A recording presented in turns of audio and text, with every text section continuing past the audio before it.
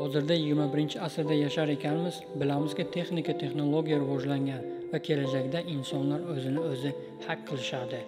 Biz o'zimiz yaratgan texnologiyalarga haq qil bo'lib qolamiz. Ya'ni haq degani sizdagi barcha ma'lumotlarni kimdir tomonidan o'g'irlanadi. Ya'ni bu o'zimiz yaratgan texnika bo'ladi. Insoniyatni ichki kechirmalarini haq qilish uchun nima kerak? Haq qilish uchun birinchidan juda ko'p data kerak ya'ni biometrik informatsiya kerak. Siz nima xarid qilganingiz haqidagi data emas balki sizning ichki kechirayotgan hissiyotlaringizga xos bo'lgan data kerak bo'ladi. Ikkinchidan bu computing power kerak. Shu ikkita narsa bilan insoniyatning ichidagi hissiyoti va miyasidagi narsalarni haq qilib olinadi. Chunki deganda biz o'ylayotgan narsalarimiz va biz xohlagan narsalarimiz uchun algoritm yaratiladi. O'sha algoritm sizga tegishli bo'lgan hamma hisob kitobni chiqarib beradi. Shu qatorda xohlagan mahsulotini va boshqa narsalarni sizga sota oladi. Chunki sizni ichingizdagi hissiyotingizni va sizga ko'proq nima kerakligini biladi. Bir necha yillar oldin agar kimdir jinoyatchilikka shubhalanganida uni orqasidan bir hafta kerak bo'lsa bir oy kuzatib yurishgan qo'lga olish uchun. Chunki u vaqtda biologik informatsiyalar va juda kuchli computing power bo'lmagan. Lekin kelajakda bu narsaga hojat qolmaydi chunki insonlar o'zini o'zi haq qilib boshlaydi. Misol uchun oddiygina google'ni olaylik. Hozirda insoniyatga kerakli bo'lgan hamma narsa google'da mavjud va siz qidirgan har bir ma'lumot google'da saqlanib qoladi. Ya'ni siz nima deb qidirsangiz o'sha yozgan narsalaringiz saqlanib qoladi. Misol uchun kimdir betob bo'lsa va u doktorga borishga mablag'i bo'lmasa u odam internetga borib googledan qidirib ko'radi. Ya'ni uni bezovta qilgan narsani yechimini topish uchun. Haqiqatdan ham hozirda hamma narsaning javobi internetda bor. Shu bilan birga bu informatsion texnologiya shunday sizning har qidirgan narsangizni saqlab qoladi va sizning o'zingizdan ko'ra sizni nima bezovta qilayotganini kerak bo'lsa sizga aytib beradi.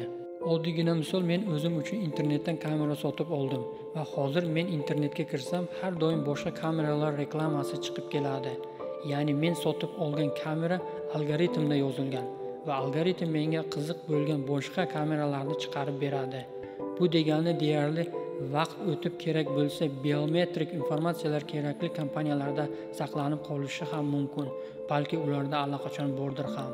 Hayot insoniyat uchun tezlik bilan evolyutsiya bo'lyapti. Sizning kasbingiz insonlarning o'rtasidagi aloqalar siyosat va boshqa narsalar. Insoniyat uchun katta evolyutsiya o'zgarish kutilyapti. Ya'ni 2025 yil uchun undan ham kattaroq 2035 yil uchun undan ham kattaroq 2045 yil uchun. Va hokazo. Siz o'shanda job marketga qaraydigan bo'lsangiz boshqa yuk haydovchilik kerak bo'lmasligi mumkin va yangi talablarga javob beradigan yoga o'qituvchiligi talabi katta bo'lishi mumkin. Siz qaysidir jihatdan 40 yoshingizda qaytadan o'zingizni modernizatsiya qilishingiz mumkin va aytishingiz mumkinki menga boshqa yuk haydovchilik kerak emas va endi menga yoga o'qituvchisi bo'lishni xohlayman deyishingiz mumkin.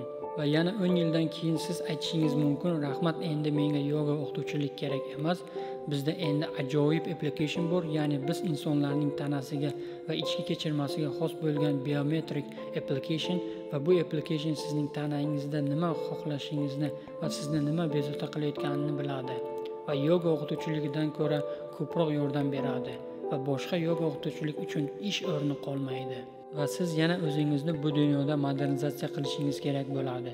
Siz qaysidir jihatdan bularni qila olasiz va yana 10 yildan keyin yana o'zingizda modernizatsiya qilishingiz kerak bo'ladi. Chunki bu ikkita narsani avtomatizatsiya qilib bo'lmaydi.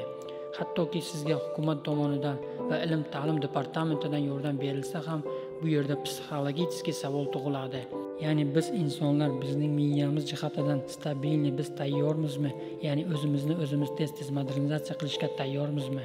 Qachonki siz 20 yoshda bo'lganingizda sizning hayotingizda o'zgarish sezasiz. Bu juda qiyin bo'ladi. Ya'ni o'sha vaqtda biz o'zimizni o'zimiz modernizatsiya qilamiz va 30 yoshda undan ham ko'proq qiyin bo'ladi va qaysidir jihatdan o'zingizni o'zgartira olasiz. Lekin qachonki biz 40 50 60 yoshda bo'lganimizda bu juda qiyin bo'lib ketaveradi. Oddiygina misol biz o'zimizni shu vaqtgacha modernizatsiya qilishimiz uchun juda ko'p yillar umrimiz bilan vaqtimiz ketdi.